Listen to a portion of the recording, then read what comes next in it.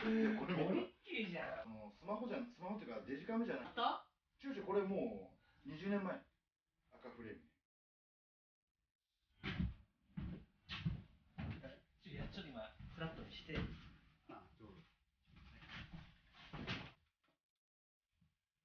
なるほ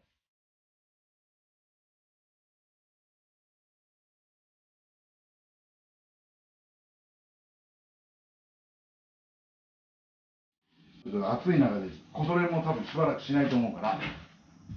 無理だこそれしたら折れちゃう。はいある質問。とりあえず今日全部終わらせよ。う結構溜まってるんですか？結構溜まってる。よっこいしょ。はい質問です、はい。えー会員番号180番泣き言出るか正貞さんですと。えー鈴木選手のスイングを手後世だよね。あえープロと比較しますと状態の回転が非常に速く、えー一流プロで、えー見かけないような気がします。球筋が分かりませんのでハイレベルの目で見ていかがなものでしょうか分析をお願いします。後世のあのスイングまだこれからでしょ？まあまあこれからこれから全然。ただフルスピードとフル力はあるからあるよね、う。ん、まあ触れあのやっぱりねあの触れるっていうことはあのなんて言うんだろう。やっぱり要はピッチャーでいう150キロ投げれるっていうのはやっぱりその持って生まれた肉体だとか天あの天性のものだとかっていうのがあるからあんだけ振れ早く振る振れって他の人間に言ったって振れないわけだからあれは一種のこの武器だよね、まあ、だからあのまだ発展途上だよね、この子はね特にね。発展途上だから、まあ、今後そのなんつうんだろう。まあただそのライン出しだとかね。そういうものが、えー身についてきてね。まあ今はそんなのやる必要ないと思うんだよ。それはもうジャコさんも言ってるけど、まあ、やっぱり今はもう一生懸命体を大きくしてあの強い球を打って、えースピン量の効いた球を打ってっていうのはもう今やらなきゃいけないことだから。それはあのスコアをね出すためにもうねまだ二十歳ぐらいの人間がこんなこんな小暮みたいなゴルフやりだしたら俺のようにそんなの今もう胸張ろうとしてんのに何言ってんの？胸腫れてなかったんでしょ？張ろうとしてるのこれから。あのちょっとショックショックなことがあったでしょ？あ大丈夫よ。ちょっと今昨日の洗い残しをうん。ちょっと試しにあやってみるはいどんなになるか？ホース向こうから引っ張れるからあっちですよね。裏側です。よ裏側もそう。見える見えるところ。はい。わかりましたあの小暮さんって親父のスイングになってますよねって言われてショックだったでしょ大事ですよ。ということでまああのスイングスピードはあれだけど、まあ、スイスイング自体もまだまだ発展途上で、えーこれからの人ですよってことですねこれねはい、えー続きましてジャスティン・マルボーズさん、えー3度でマンアップライトって、えーちなみに何度ぐらいですか？私は左が怖くてマンフラットです。俺のどのくらいなの？数値でだから普通のだからジャンボ艇の数値から言うと3度以上アップライ3度、やりすぎじゃね？トだって前の3度がそうだっ前の。3度なんであんなのが良かったんだろうね。ただから浮いてちょうどだったのそれをさなんか縛っちゃってたからさ。そういうことなのかな、まあ、3度ね。普通のううちあのジャムさんとかからすると3度アップライト。でもあのぐらいのアップライトのクラブたまにあるんですよ。あるの。おかしくはないおかしくはない。だって構えられるじゃん。いや俺はどんなクラブでも構えられるよ。いやそうそういうこと言ってんじゃなくてあのこんなの無理だよって思わないでしょ。もう思わないもん。あるっちゃあるんですよね。ちょっとアップライトのやつがね。アップライトの方が僕は3度どちらかというとアップライト目だけど。ださだから普通のよりも3度アップライト。3度アップライト。3度って相当だよね。だって指が2本以上だからな、まあ、今3度ってアバウトで言いましたけど、まあ、34そのぐらい。を使ってますってことね。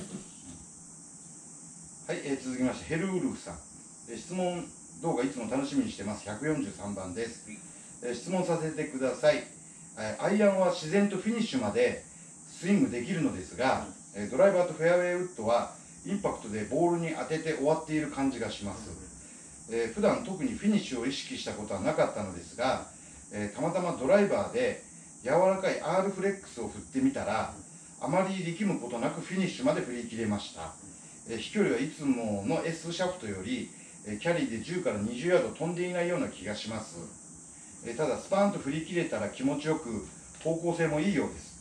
え飛距離は落ちたとしてもこれ,、えこれが自分の本来のドライバーのスイングなのかなと思い始めました、えただ楽に振っているとそれに慣れ慣れてしまってさらにやら、えー軽く柔らかくしたくなって飛ばなくなるのも怖いです。ご意見を伺いたいです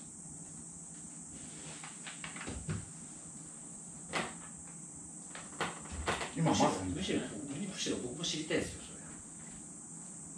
そ今まさに変えようかと思ってるのね。軽いのにね。れもう変えたんですけどね。え？変えたの？だから変えたんだよ。もう OX にしたじゃない。ですかあ違う違う違う。あのー、あードライバーね。まあ 5X そうか重量はでも軽くしたけどそこまではあの硬さ的には変わってないわけでしょいやだから重量軽くすると肩やるくなる多少ね。多少どころじゃないですよ。え？全然結構結構。で楽に振っているとそれに慣れてしでさらに軽く柔らかくしたくなって飛ばなくなるのも怖いんだけどって言ってるんだけど。あのねそれ軽くしても振ってくださいって言いたいなのね。イメージは。軽くしてから楽に振れるじゃなくて軽くしても振ってくださいって言いたい。そういう言い方、あうん。のもう軽なんかやフレックスを柔らかくしたら軽くでいいんだっていうんじゃない。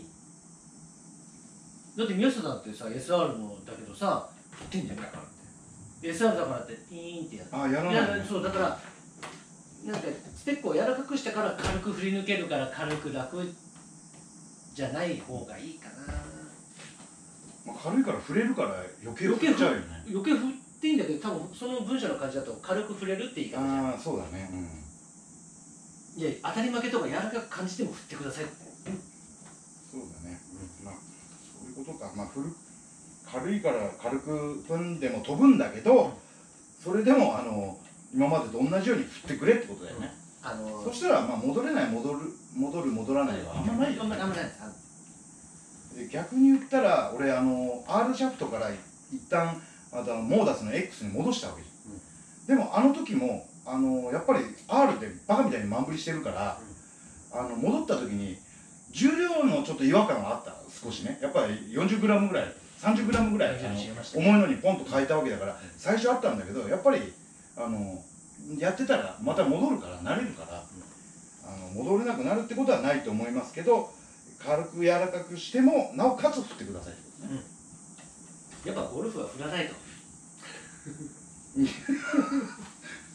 そうよ。そうよ。振らないと。だからあの後半みたいにさ大穴の後半みたいに前半やっちゃってもさもう一番から小暮振ってこうぜっていう感じにならないとダメだよね。はい、えー続きまして、えー、米和さん、えーお疲れ様です。米和と申します、質問です。シャフトのテーパーとパラレルは、えー使用に差はないとありますが、えーほとんどがテーパーだと思います。パラレルは使いづらいものなんでしょうか、えー見た目がいまいちなんですが、えー過去に同じ質問あったらすいませんということで。